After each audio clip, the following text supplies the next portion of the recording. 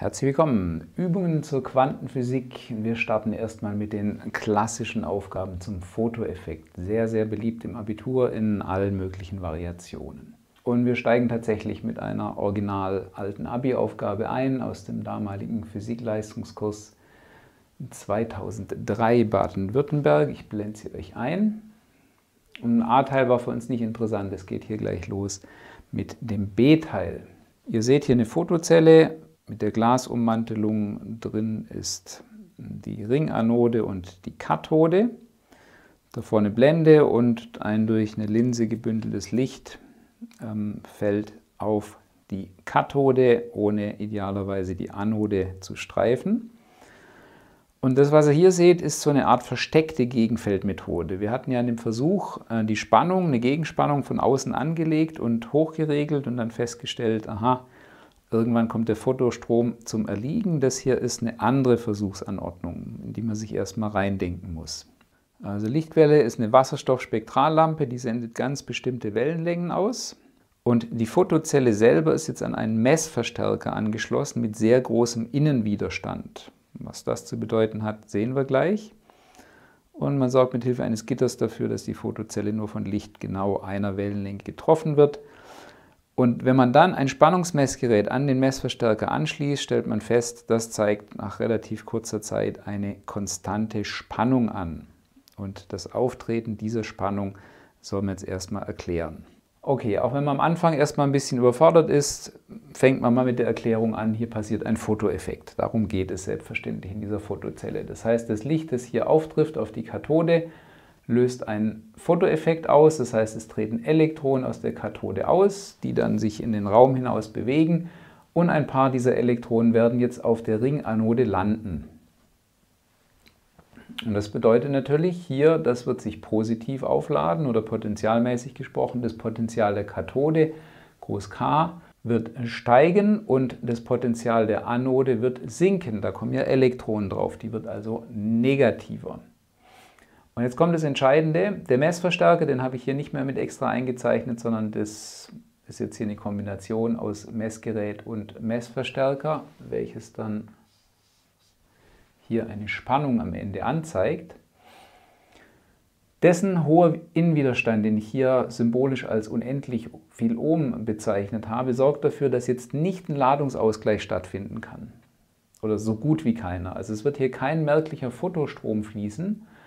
Das heißt, ich kann die Anode und die Kathode wie ein Kondensator betrachten. Das sind zwei Metallteile, die sich isoliert gegenüberstehen und eben das Entscheidende ist, die sich hier über dieses Kabel nicht oder so gut wie nicht entladen können. Und damit ist das ein Kondensator, an dem ich eine Spannung abgreifen kann oder messen kann. Das geschieht eben hier über den Messverstärker, weil es sind hier lächerlich kleine Ladungsmengen involviert. Deswegen kann ich, oder es ist schwieriger, einfach direkt mit dem Spannungsmessgerät das zu messen. Wir werden in einer späteren Aufgabe noch eine Variation von dieser Methode sehen. Da macht man hier einen echten Kondensator hin, also mit richtiger Kapazität im Gegensatz zu hier, das ist ja winzig klein die Kapazität und dann kommen da solche Ladungsmengen drauf, dass man die auch ohne den Messverstärker tatsächlich messen kann. Das macht diese Aufgabe hier ein bisschen komplizierter, wenn man erstmal denkt, oh, was soll denn der Messverstärker und was für eine Rolle hat der Innenwiderstand. Okay, ich hoffe, das ist klar geworden. So, und was passiert jetzt? Es, werden immer, es wird immer weiter ein Fotoeffekt ausgelöst, werden immer weitere Elektronen austreten und jetzt baut sich aber hier zwischen Anode und Kathode ein elektrisches Feld auf. Ja? Wie gesagt, es ist letztendlich ein Kondensator. Ich habe hier mal versucht, ein paar Feldlinien anzudeuten und auch versucht, dass die senkrecht hier auf diesen Metallteilen enden. Das echte Feld wird natürlich anders aussehen und komplizierter, aber darum geht es nicht. Es ist auf jeden Fall kein homogenes Feld, so viel ist klar, weil ich da diesen Ring habe und eben diese Flächen Kathode, da wird irgendeine komplizierte Feldform rauskommen. Entscheidend ist nur, dieses Feld wird jetzt die weiteren Elektronen, die austreten, abbremsen. Also ganz naiv gesprochen, das Minus der Anode stößt jetzt die Elektronen ab, die auf die Anode wollen. Und schöner sagt man das eben so, es baut sich hier ein elektrisches Gegenfeld auf und dessen Feldstärke nimmt natürlich zu, je größer hier der Potentialunterschied wird und damit je größer diese Spannung hier wird. Und dieses Feld entzieht jetzt den Elektronen, die durch den Fotoeffekt ausgelöst werden und zur Anode wollen, Energie auf ihrem Weg. Und irgendwann schaffen es eben nicht mal mehr die energiereichsten Elektronen, also die mit E Kin max, die Anode zu erreichen und dann wird die Spannung konstant. Dann kommen keine weiteren Elektronen mehr auf der Anode an und der Potentialunterschied hier ändert sich nicht mehr und das ist das, was mir dann dieses Spannungsmessgerät mit Hilfe des Messverstärkers eben anzeigt. Und dann ist die Spannung U, die auch in der Tabelle in der Aufgabe gegeben ist, eben gerade die Maximalspannung an diesem Kondensator und die nennen wir normalerweise die maximale Gegenspannung. Also nochmal, das ist nichts anderes als eine Gegenfeldmethode, nur dass ich jetzt nicht von außen eine Gegenspannung anlege, sondern die sich ganz natürlich hier aufbauen lasse zwischen Anode und Kathode, indem ich hier eben den Ladungsausgleich verhindere. Okay, und jetzt kommen wieder die Standardargumente. In diesem Extremfall, wenn keine weiteren Elektronen mehr ankommen, ist E kin max die maximale kinetische Energie der schnellsten oder energiereichsten Elektronen, die aus dem Metall rauskommen, gerade gleich groß wie deren potenzielle elektrische Energie. Also die kommen quasi dann gerade hier an der Anode noch an, haben dann aber bei dem Bremsvorgang ihre komplette Energie verloren und werden dann durch das Feld zurückbeschleunigt. Also E pot elektrisch max ist gleich E kin max. Und jetzt kommt eben wieder hier die Einstein-Gleichung ins Spiel, die eben auf der Lichtquantenhypothese basiert. Das ist dann gleich h mal f minus wa. Also e mal u und das Schöne ist jetzt eben u kann ich hier ganz bequem ablesen. e mal u gibt mir dann diesen Ausdruck auf dieser Seite hier an. Okay, das war die Erklärung der Spannung. Das ist schon eine kleine Herausforderung, das physikalisch schlüssig und in einem schönen Text aufzuschreiben. Ist aber auch andererseits schön, weil da eben ein bisschen Physik dahinter steckt. Jetzt kommt die nächste Teilaufgabe. Früher, inzwischen haben sie es glücklicherweise geändert, waren immer nur so nervige Böppel. Da war nicht A, B, C, D und so weiter, sondern da war A oder B und dann so eine Reihe von Unterpunkten. Das war immer etwas unglücklich, weil man da auch gern einen übersehen hat. Ihr sollt jetzt ein Ekin-Max F-Diagramm zeichnen. Dazu füllen wir erstmal diese Tabelle aus. Das einfachste ist die letzte Spalte, denn die maximale kinetische Energie ist gemäß dieser Beziehung hier nichts anderes als die Spannung, nur dass ich eben hier noch das E dran multipliziert habe und damit die Einheit Elektronvolt oder Elektronenvolt kriege. Kann mir immer nicht entscheiden. Elektronenvolt heißt, glaube ich, offiziell, aber Elektronvolt klingt auch nett. Also das sind einfach die gleichen Zahlen und die Frequenz rechnet ihr mit der Standardformel aus der Wellenlänge aus, denn Lichtgeschwindigkeit ist Frequenz mal Wellenlänge, also ist Frequenz Lichtgeschwindigkeit durch Lambda. Lichtgeschwindigkeit ist gegeben, 3,00 mal 10 hoch 8 Meter pro Sekunde, dann einfach in den Taschenrechner eintippen und dann das Ganze schön in ein Diagramm verwandeln. Netterweise ist auch die Achsenskalierung bzw. Einteilung gegeben, von wo bis wo ihr zeichnen sollt und dann kommt am Ende dieses Diagramm raus. Also ihr habt hier vier Messpunkte, die liegen alle schon relativ gut auf einer Geraden. Ihr nehmt also einfach das Geodreieck und zeichnet jetzt so eine Gerade, dass die möglichst gut alle Punkte erreicht. Dann wichtig, die muss hier aufhören, denn negative kinetische Energien sind physikalisch sinnlos, aber wir stricheln sie weiter, denn hier können wir ja den Betrag der Austrittsarbeit ablesen. Denn hier in dieser Gleichung minus WA ist der y-Achsenabschnitt. Die y-Achse ist hier die W-Achse oder die Ekin-Max-Achse. Äh, genauso gut könnte ich W hinschreiben. Egal, hat er die gleiche Einheit. Und dann könnt ihr hier ablesen, das könnte im Heft wahrscheinlich ein bisschen genauer, ungefähr 1,85. War zwischen 1,8 und 1,9 bei mir. Ebenfalls ablesen kann man die Grenzfrequenz. Das waren tatsächlich hier 4,65, also zwischen 4,6 und 4,7 auf meinem großen Tafelgeodreieck.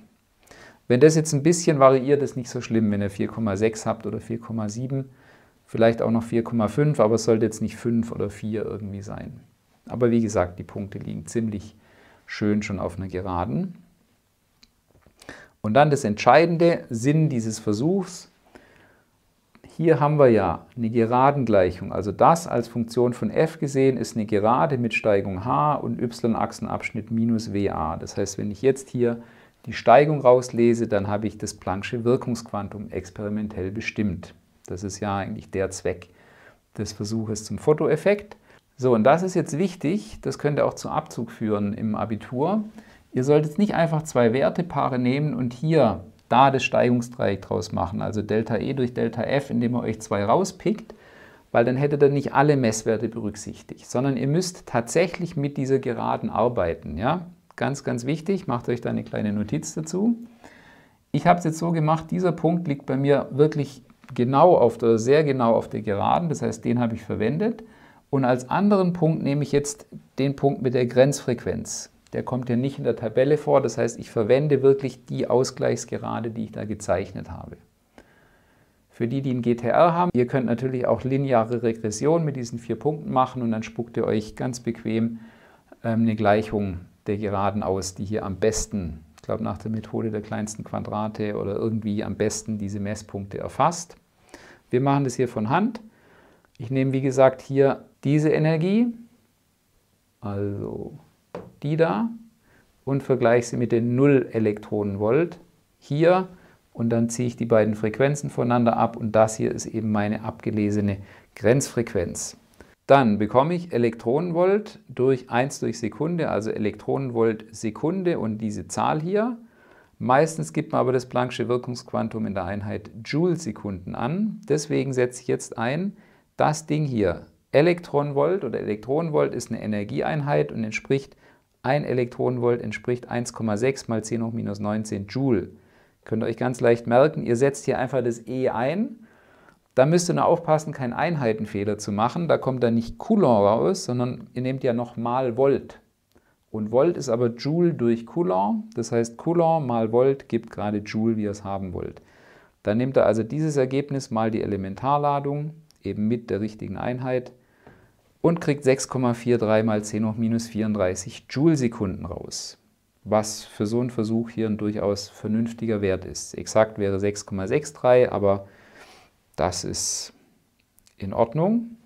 Und bei diesem Bobbel hier sollte man noch die Grenzwellenlänge ausrechnen, weil die kann man sich einfach besser vorstellen als die Grenzfrequenz. Solche großen Zahlen sagen zumindest mir gar nichts mehr. Da nehmt ihr wieder diese Formel, diesmal aufgelöst nach Lambda. Dann ist die Grenzwellenlänge Lichtgeschwindigkeit durch Grenzfrequenz und dann kommen ungefähr 645 Nanometer raus. Das heißt, wir sind hier im roten Bereich des Lichtes. Und wenn es noch längerwellig wird, dann kann es keinen Fotoeffekt bei diesem Material mehr auslösen. Das hier, das könnte zu Barium oder Cäsium passen. Das ist aber nicht gefragt, da müssten wir euch eine Tabelle geben. So, im nächsten Bobble ist gefragt, welche Erkenntnisse über die Natur des Lichts lassen sich aus dem Fotoeffekt ableiten. Also ich nehme jetzt direkt Bezug auf diesen Versuch hier. Zunächst mal kann man sagen, die Einstein-Gleichung Rot-Sternchen hier sagt ja voraus, dass Ekin Max in Abhängigkeit der Frequenz linear sein wird. Da kann man sagen, passt schon mal sehr gut. Und dieser Gleichung liegt eben, das ist das Entscheidende hier, die Lichtquantenhypothese zugrunde. Und in dem Sinne kann man sagen, dass der Fotoeffekt die Lichtquantenhypothese bestätigt. Allerdings ist es ein bisschen mit Vorsicht zu genießen, sage ich gleich was dazu.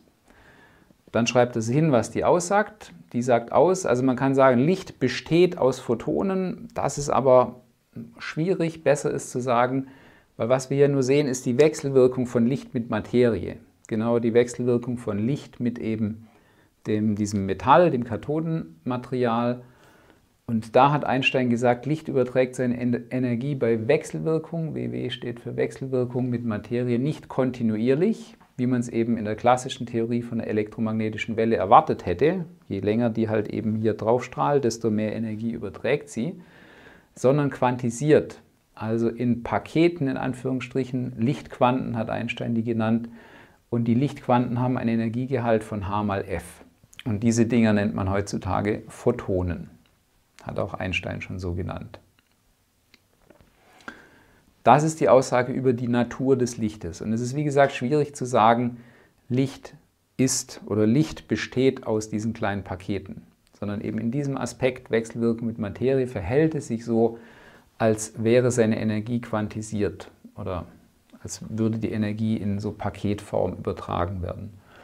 Und jetzt, das ist ein wichtiger Punkt, wenn man davon ausgeht, dass ein Elektron in dem Kathodenmetall jeweils nur ein Photon absorbieren kann, dann erklärt es das Auftreten einer Grenzfrequenz. Und jetzt das hier, das war mir selber lange Zeit nicht klar. Bei geringen Intensitäten ist das tatsächlich so, hat man heute zweifelsfrei nachgewiesen. Wenn das also die Lampen, die wir in der Schule haben, sind zweifellos, zweifellos äh, von geringer Intensität. Wenn die Intensität aber stark hochgefahren wird, ich kann euch jetzt nichts Quantitatives sagen, aber vermutlich bei irgendeinem sehr starken Laser, ein Laser mit sehr großer Leistung, ist es so, dass tatsächlich Elektronen auch mehrere Photonen absorbieren können. Und dann können auch kleinere Frequenzen und damit größere Wellenlängen einen Fotoeffekt tatsächlich auslösen. Also wenn ihr sowas im Nebensatz fallen lasst im Abi, super, müsst ihr aber auch nicht, wird nicht von euch erwartet. Jedenfalls, wenn man diese, ähm, wenn man diese Annahme reinsteckt, dann folgt daraus ganz eindeutig die Existenz einer Grenzfrequenz. Nämlich F-Grenz ist WA durch H. Das ist gerade erreicht, wenn hier 0 rauskommt für die maximale kinetische Energie. Das heißt, die Elektronen werden gerade so aus dem Metall rausgelöst. Da kann man sich jetzt streiten, ist gleich Null sinnvoll oder muss es echt größer Null sein. Sagen wir einfach, bei gleich Null schweben sie gerade so über dem Kathodenmaterial und können sich aber nicht mehr wegbewegen, weil sie keine nennenswerte Geschwindigkeit mehr haben. Wenn er das auflöst, nach F kommt er auf diese Formel für die Grenzfrequenz. Auslösearbeit durch Planck'sches Wirkungsquantum. Und das ist jetzt eben der krasse Widerspruch. In der alten elektromagnetischen Lichttheorie sollte es sowas nicht geben sondern wenn ich die Lampe genügend hell mache, also genügend hohe Intensität des Lichtes, oder wenn ich sie lang genug auf die Fotozelle scheinen lasse, dann sollte Licht jeder Wellenlänge einen Fotoeffekt auslösen. Und das beobachtet man eben nicht, wie gesagt, bei normalen Intensitäten. Okay, also kurz zusammengefasst, das ist ein Indiz dafür, dass Einsteins Lichtquantenhypothese ganz gut ist und die besagt eben, Licht überträgt seine Energie quantisiert in Form von Energiepaketen, die man heutzutage Photonen nennt. Wieder noch ein kleiner Ausblick oder eine Anmerkung für die Besserwisser, Besserwisserinnen. Ähm, es gibt tatsächlich sogenannte semiklassische Modelle. 1969 ähm, haben die Physiker Lamb und Scully tatsächlich ähm, ein Erklärungsmodell für den Fotoeffekt geliefert, welches komplett ohne Photonen auskommt. Semiklassisch heißt, die Atome in dem Kathodenmetall, die werden als quantisiert betrachtet, deren Energieniveaus werden als quantisiert betrachtet, aber das Licht wird als klassische elektromagnetische Welle behandelt. Und dann kann man in diesem Modell widerspruchsfrei ebenfalls den Fotoeffekt erklären. Rückblickend muss man sagen, aus diesem Versuch hier folgt noch gar nicht zwingend die Quantisierung des Lichtes. Allerdings hat man heutzutage viele, viele andere Versuche durchgeführt, die diese Quantisierung eindeutig belegen oder dass es eben ein Aspekt des Lichtes tatsächlich darstellt. Okay, letzter Bobbel bei Teil B. Erläutern und begründen Sie, wie sich das Diagramm verändert, wenn man unter sonst gleichen Bedingungen, erstes Strichchen, die verwendete Lampe durch eine mit doppelter Lichtleistung ersetzt. Okay, das kann man eindeutig beantworten. Man schreibt am besten nochmal die Gleichung hin, die die gemessene Spannung in Abhängigkeit von der Frequenz angibt. Dazu löst man einfach diese Gleichung Sternchen nach U auf. U von F ist dann 1 durch E, Elementarladung, mal HF minus WA. Da steht nirgendwo die Leistung der Lampe drin, also kann sich U auch nicht ändern. Was man noch dazu sagen könnte, ist, dass aber die Spannung, die dann ja als konstant irgendwann beobachtet wird, dass die konstante Spannung sich schneller einstellt, weil höhere Leistung heißt mehr Photonen pro Sekunde. Damit mehr Elektronen pro Sekunde ausgelöst und damit treffen auch mehr Elektronen pro Sekunde auf die Anode. Das heißt, das wäre noch eine Feinheit, diese Grenzspannung wird sich also schneller einstellen. Und auch das muss man nicht hinschreiben. Wenn man das im Hinterkopf hat, könnte man noch sagen, das könnte sich dahingehend verändern, wenn die Leistung jetzt plötzlich so groß wird, dass ein Elektron mehrere Photonen aufnehmen kann, dann könnte sogar noch für eine andere Wellenlänge ein Fotoeffekt passieren. Aber da bringt er euch eher in Schwierigkeiten, wenn er da zu viel schreibt. Okay, ein letztes Strichchen. Wenn ein anderes Kathodenmaterial verwendet wird, auch das kann man ganz schnell beantworten. Das hier hängt ja jetzt spezifisch von dem Kathodenmaterial ab, welchen Wert das hier hat. Ansonsten bleibt das aber alles gleich. Das heißt, wenn ich jetzt ein anderes Kathodenmaterial habe, habe ich einfach einen anderen y-Achsenabschnitt. H wird sich aber natürlich nicht verändern. Das heißt, die Steigung des Diagramms bleibt weiterhin gleich, ist ja einfach H, aber sie wird sich nach oben oder unten verschieben, weil eben der y-Achsenabschnitt sich ändert. Und damit wäre diese Teilaufgabe B beantwortet. So, neue Teilaufgabe mit neuem Haarschnitt, Schöne Grüße an meine Frau, die mir und meinem Vater seit Pandemiebeginn die Haare schneidet. Nette kleine Anekdote am Rande. Die Physiotherapeutin meines Vaters hat ihn irgendwann gefragt, oh, neuer Haarschnitt, waren Sie beim Friseur? Ich gesagt, nee, hat die Schwiegertochter gemacht. Ah, ist die Friseurin? Nee, promovierte Mathematikerin. Hat zu einer gewissen Erheiterung geführt. Okay, zurück zur Physik. Nette Abwandlung des Aufbaus in Teil C.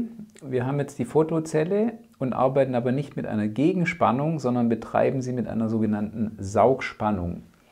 Hier vereinfacht der Schallplan. Eigentlich sollte man hier ein Potti verwenden, wobei man kann auch ein Netzgerät nehmen. Ist egal.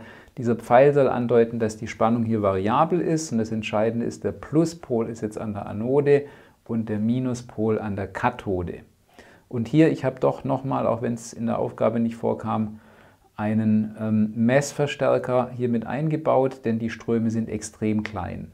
Hier sind wir im Mikroampere-Bereich, das ist schon relativ viel, das geht aber auch gut bis in den Nano- oder bei Gegenspannung sogar in den Picoampere-Bereich. Also, ein weiteres Experiment, veränderliche Spannungsquelle, hochempfindliches Amperemeter, wie gesagt, hier nochmal Messverstärker könnt ihr auch weglassen. An der Fotokathode lässt man monochromatisches Licht, Wellenlänge ist gegeben, 589 Nanometer, also so einen orangenen Bereich, ähm, mit der Strahlungsleistung 0,4 Milliwatt fallen. Man erhöht nun die Spannung, also die Saugspannung von 0 Volt an, bis die Stromstärke I nicht mehr steigt. Also hier Amperemeter misst die Stromstärke I. Schreibt man auch das Ampere da rein. Egal, mache ich es weg. Maximale Stromstärke beträgt 3,2 Mikroampere. Erklären Sie, warum die Stromstärke trotz steigender Spannung nicht weiter zunimmt. Okay, auch wenn man das vor dem Abitur noch nicht gehört hätte, kann man da drauf kommen, was passiert. Fotoeffekt, also Glasgehäuse und Blende und Licht ist nicht mehr eingezeichnet. Fotoeffekt löst nach wie vor hier Elektronen aus. Aber anstatt dass die jetzt abgebremst werden, werden die jetzt hier von der positiv geladenen Anode angezogen und gleichzeitig von der negativ geladenen Kathode abgestoßen. Das heißt, sie werden Richtung Anode beschleunigt. Jetzt kann es aber durchaus sein, dass einige, die zum Beispiel gerade auf die Mitte dieser Ringanode durchfliegen, so schnell sind, dass sie nicht von dem Feld zurückgeholt werden, sondern gegen das Glas knallen und dort absorbiert werden vom Gehäuse. Wenn ich jetzt aber diese Spannung immer weiter hochfahre, dann wird das Feld zwischen Kathode und Anode immer stärker und irgendwann wird jedes einzelne Elektron, das durch den Fotoeffekt ausgelöst wurde, tatsächlich zur Anode hin beschleunigt und tritt damit in diesen Stromkreis hier ein. Und dann kann natürlich hier die Stromstärke nicht mehr weiter steigen. Außer natürlich, ich hau hier 1000 Volt oder noch mehr ran, sodass die Elektronen noch zusätzlich aus der Kathode rausgerissen werden. Aber das ist nicht gemeint. Wir arbeiten hier in der Regel ja mit Akkus, mit kleinen Spannungen. Und das ist die Erklärung. Also dazu sagen, wenn das 0 ist oder zu klein, kann ein Großteil der Elektronen oder wird vermutlich vorbeifliegen. Das ist ja ein ganz, ganz dünner Ring, diese Anode. Und wenn ich es weit genug hochfahre, werden alle quasi abgesaugt von der Kathode auf die Anode. So, und jetzt noch eine schöne kleine Rechnung. Berechnen Sie den Bruchteil der Photonen, die unter diesen Bedingungen Photoelektronen auslösen. Also, was haben wir gegeben? Wir wissen, die Leistung des Lichtes ist 0,4 Milliwatt. Das heißt, da müsst ihr euch erinnern, was Watt ist. 0,4 Millijoule pro Sekunde.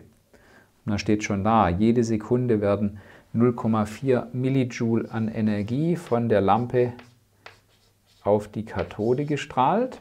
Und hier ist jetzt nicht eine Intensität gegeben, also Leistung pro Fläche, sondern das ist so gemeint, dass auf der gesamten Kathode jetzt eben 0,4 Millijoule ankommt, was ich vermutlich gleichmäßig verteilen soll pro Sekunde. Diese formale Umrechnung mit der Formel ist nicht nötig, aber ist nochmal ganz nett, wenn man sich daran erinnert. P ist E durch T oder W durch T, je nachdem, wie ihr es nennen wollt. In dem Fall nenne ich es E. Und jetzt kommt das Entscheidende. Für uns überträgt Licht seine Energie in Form von kleinen Paketen, die wir Photonen nennen. Und laut Einstein trägt jedes Photon die Energie H mal F. Und alle Photonen zusammen, die pro Sekunde ankommen, müssen natürlich dann 0,4 Millijoule im Gepäck haben.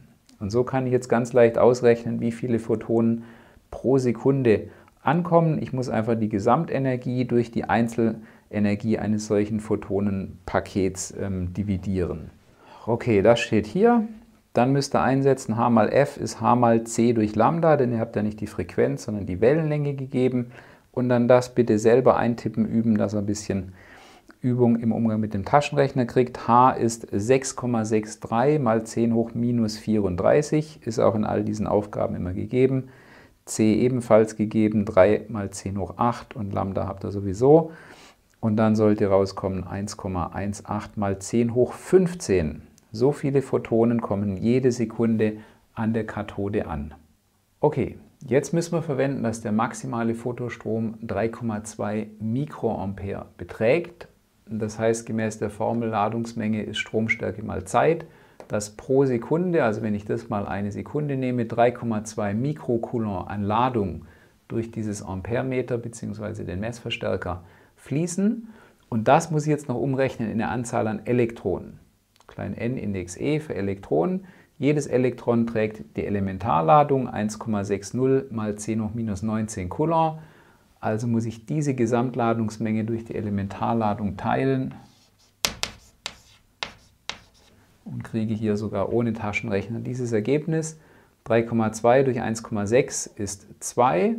Mikro ist 10 hoch minus 6 durch 10 hoch minus 19 macht 10 hoch 19 nach oben 10 hoch 13. Das heißt, so viele Elektronen werden pro Sekunde nur ausgelöst und dann kann ich durch den Vergleich dieser beiden, das habe ich noch hier, den Index, ich habe hier noch den Index pH für Photonen ergänzt. Wenn ich das hier durch das teile, dann habe ich den Prozentsatz. So, dann kommt raus, dass tatsächlich knapp unter 2%, nur 1,7% der Photonen, die an der Kathode ankommen, tatsächlich auch nur einen Fotoeffekt auslösen. Was geschieht mit dem Anteil des Lichts, der nicht zum Fotoeffekt beiträgt? Ja gut, ein Teil wird sicherlich reflektiert. Wir haben eine metallische, recht glatte Fläche, das heißt, ein Teil der Photonen wird reflektiert. Eventuell trifft das reflektierte Licht sogar noch auf die Anode und löst dort unerwünschte Effekte aus, weil ja mit der Zeit auch das Kathodenmaterial ausdampft und ein Teil sich auf der Anode niedersetzt. Das heißt, man kriegt hier noch gewisse Störfaktoren. Ich weiß nicht, inwieweit die die Messergebnisse für H tatsächlich beeinflussen. Und natürlich werden auch Photonen von Elektronen absorbiert in der Kathode. Und diese Elektronen geben aber durch viele Stöße ihre Energie schon ab, bevor sie das Kathodenmaterial verlassen können und tragen damit zur Erwärmung bei. Also zwei Effekte, Reflexion, wobei da auch schon eine Absorption mit dabei ist und dann vermutlich eine kleine Erwärmung. Reflexion des Lichtes und Erwärmung des Metalls durch eben die Elektronen, die es nicht schaffen herauszutreten, aber trotzdem die Energie haben und die an das Gitter abgeben. Das beschließt Teil C dieser, wie ich finde, insgesamt recht schönen und runden Aufgabe. Okay, ich hoffe, das hat ein bisschen geholfen bei der Klausurvorbereitung oder beim Lernen aufs Abitur. Vielen Dank fürs Zuschauen und macht es gut.